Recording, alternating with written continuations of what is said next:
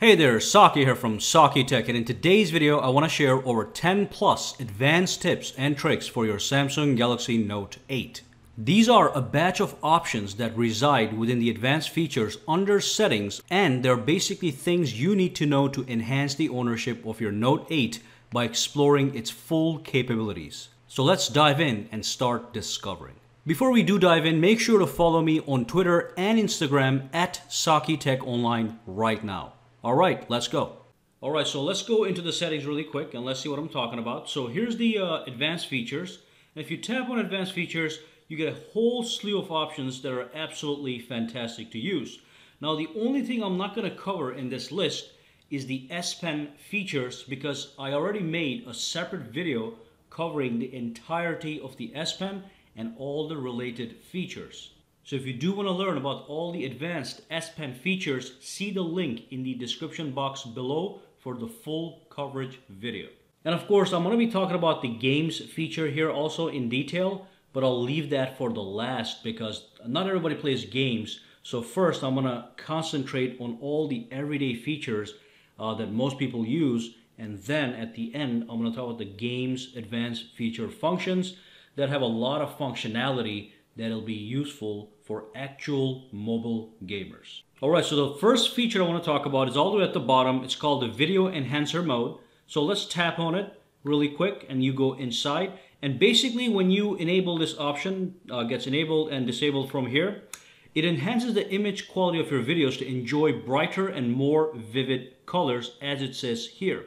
And here's the apps that this effect actually applies to. Now as you download more and more video apps. And if those apps are supported, they will populate down here. So not every app is gonna work with the video enhancer function uh, for picture clarity, okay? And the next thing I wanna talk about really quick is called the um, swipe to call or send messages. So basically this is a very nice feature. If you tap on it, it says uh, swipe a contact or number right to make a call and left to send a message. So if I go into my uh, phone here or even into, into my messages, I'll show you what I mean by that. So if I go over here, if I go over to a contact, what I can do is here's my um, number and I have two options. I can swipe to the left to send a message or I can swipe to the right to make a call. And if I do the swipe, it'll just go right into the message application. I can start typing immediately.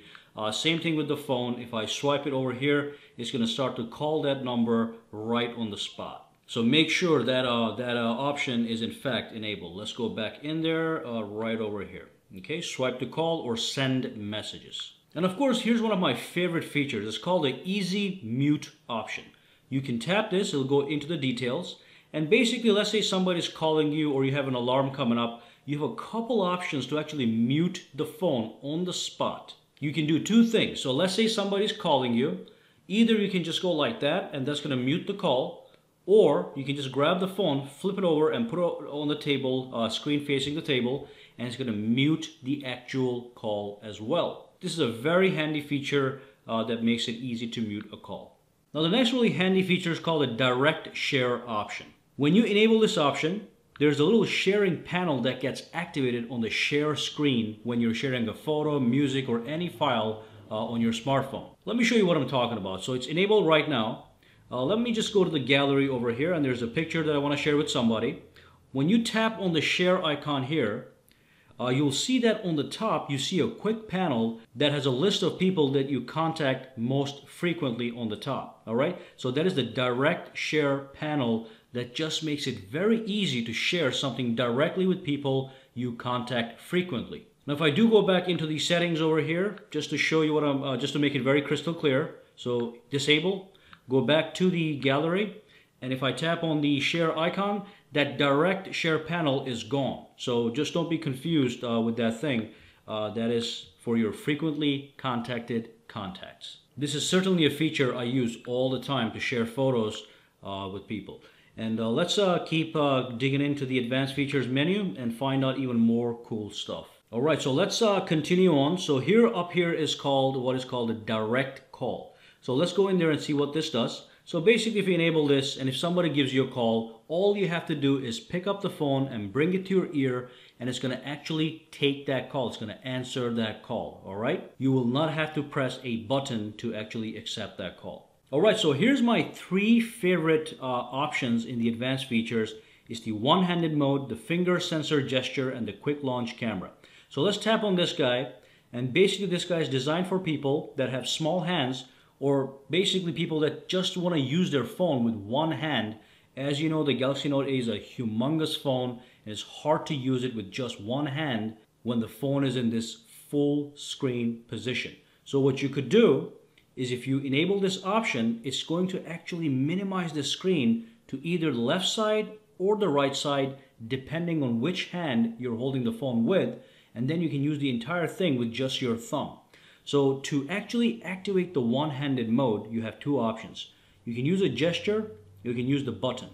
With the button, if you tap the home button three times, it activates the one-handed mode. And let me use that gesture to show you what I'm talking about. So let's tap this thing three times the home button three times, one, two, three, and boom, the screen gets minimized and I can use the entire phone with just one hand. I can exit this, I can pull down the location center, right? I can go to the um, uh, app drawer, you know, launch an application.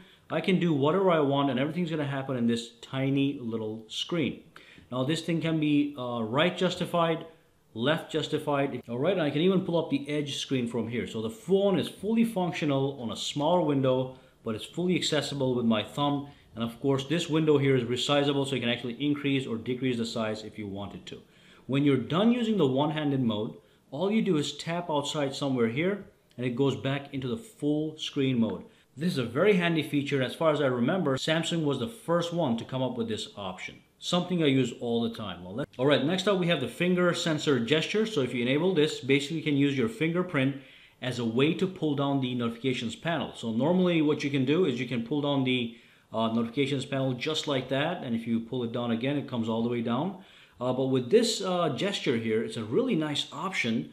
Uh, you put your finger on the fingerprint sensor right and you can pull down the notifications panel or pull it up just like that. Take a look at that. Pull up, pull down, pull up, pull down and as you can see it can happen in any orientation. I can have it like that. It still works pull up, pull down, pull up. Absolutely fantastic. Let's move on to the next tip. And of course, the quick launch camera, very useful feature. When you double tap the power button from any screen, it brings up the camera. The phone could be locked, it could be in your pocket, it could be in another app watching a video, but then you quickly see a shot. You want to take a quick picture. All you do is double tap this guy, boom, the camera comes right up and you take a picture and you move on with your life. All right? So that's the um, quick launch camera gesture. And really quick over here, we have something called a smart alert. And again, if you go in here, basically what happens is, let's say your phone is sitting on the table flat down and you had a couple, you walked away, you came back, somebody sent you a message, somebody called you, you didn't hear it. All you do is you pick up the phone and it's gonna vibrate. That vibration is gonna mean that you actually do have messages or phone calls or some other notification waiting for you. Okay, so demonstration is right over here. Let's move on to the next one. The next one is palm swipe to capture. So basically this guy over here, uh, if you enable it, all you want to do is you want to swipe the uh, your hand across the edge of the device and it's going to take a screenshot. Now this doesn't mean you can just go like that, okay? Your palm, uh, your hand has to actually touch the screen as you swipe.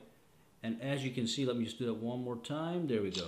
So as you can see, just took a screenshot. So that's just one way to take a screenshot of your device is called palm swipe to capture.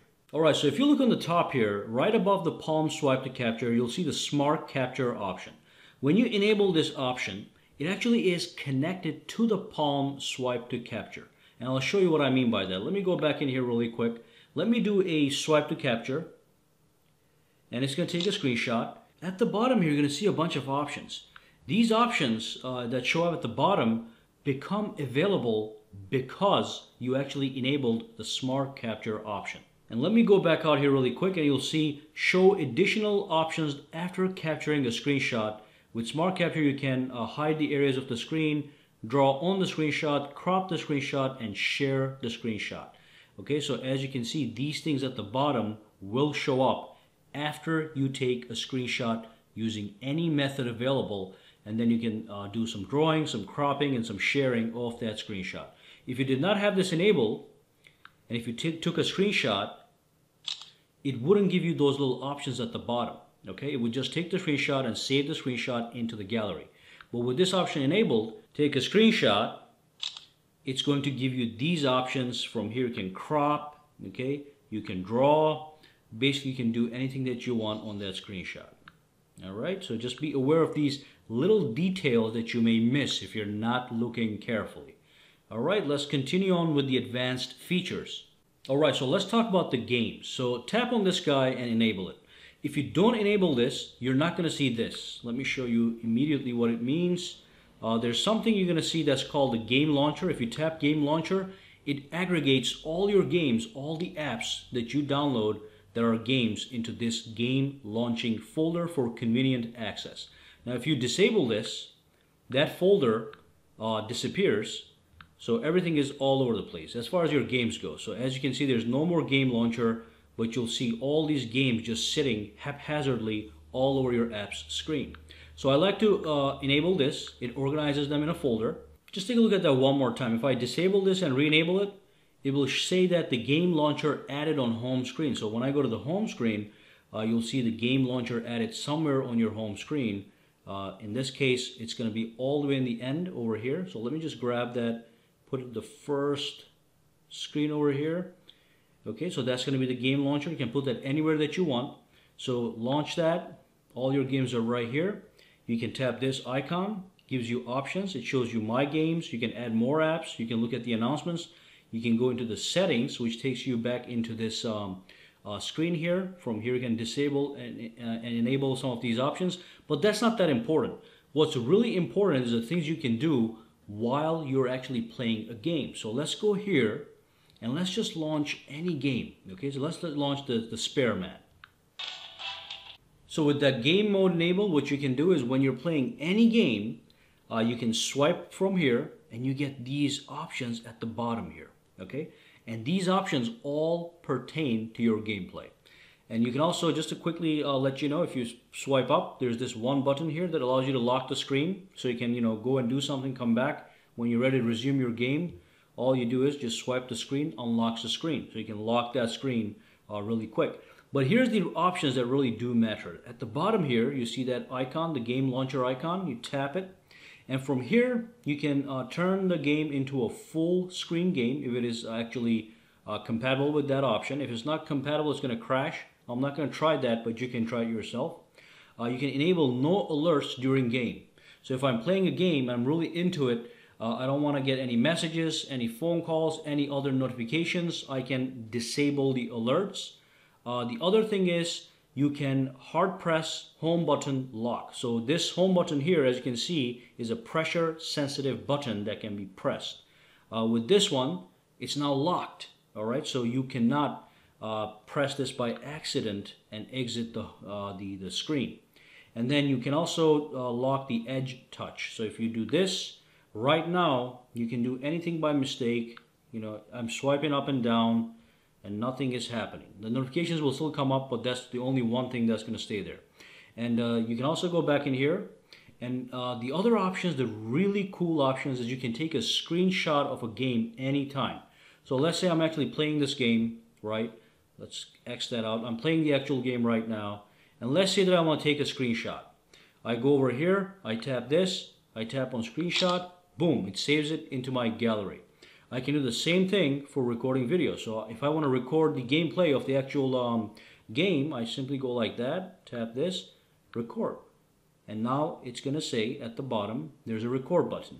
Okay, so it's recording right now. Let me just go back and if I go like that I can press the stop button and that stops recording and then it saves the uh, recorded gameplay into your Photos uh, Gallery application. Alright, so that was the game mode. You get access to Game Launcher, you get access to in-game tools.